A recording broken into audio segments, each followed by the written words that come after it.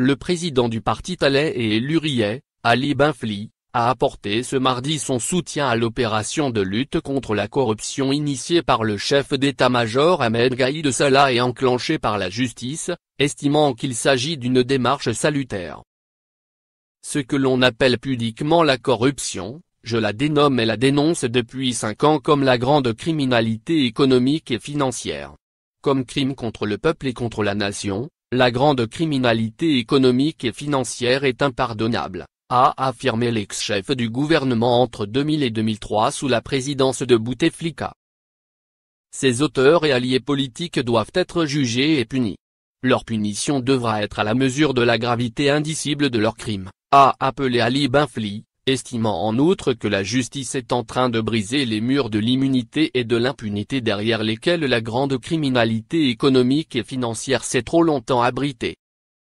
Dans la situation extrêmement sensible que vit notre pays, cette démarche salutaire doit s'entourer de précautions nombreuses et indispensables. Elle doit, avant tout, se dérouler dans le calme, dans la sérénité et dans le souci de rassurer plutôt que d'inquiéter et d'alarmer, a par ailleurs préconisé le président de Talais et Luriet. Elle doit, ensuite, éviter de nourrir la véritable guerre psychologique qui commence à l'entourer à travers les questionnements sur ses arrière-pensées et ses véritables buts. Elle doit, enfin, convaincre que la moralisation de l'espace politique et économique est l'indispensable complément de l'œuvre refondatrice de l'état de droit, a insisté M. Benfli.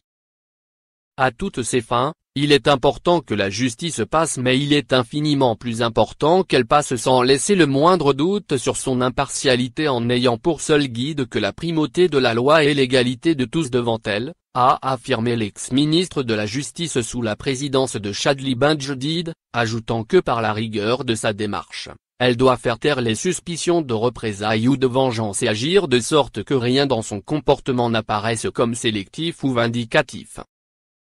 Notre pays a connu tant d'opérations apostrophe main propre apostrophe traumatisantes qu'il est plus que nécessaire que notre opinion publique soit convaincue que l'action de la justice en cours n'a rien de commun avec elle et qu'elle est partie intégrante du vaste chantier du changement que le peuple algérien veut ouvrir, a indiqué Ali Benfli, concluant que seule la transparence peut faire taire les suspicions, calmer les alarmes et dissiper les relents de la guerre psychologique qu'il n'est pas permis de laisser entourer cette entreprise. love.